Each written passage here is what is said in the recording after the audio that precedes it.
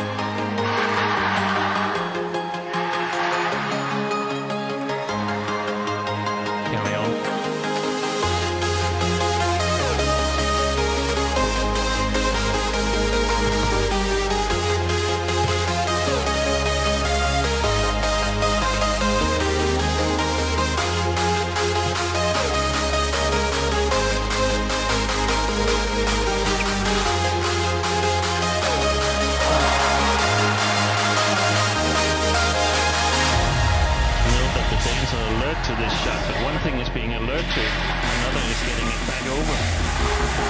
We saw Rasmus Olsen doing a good job.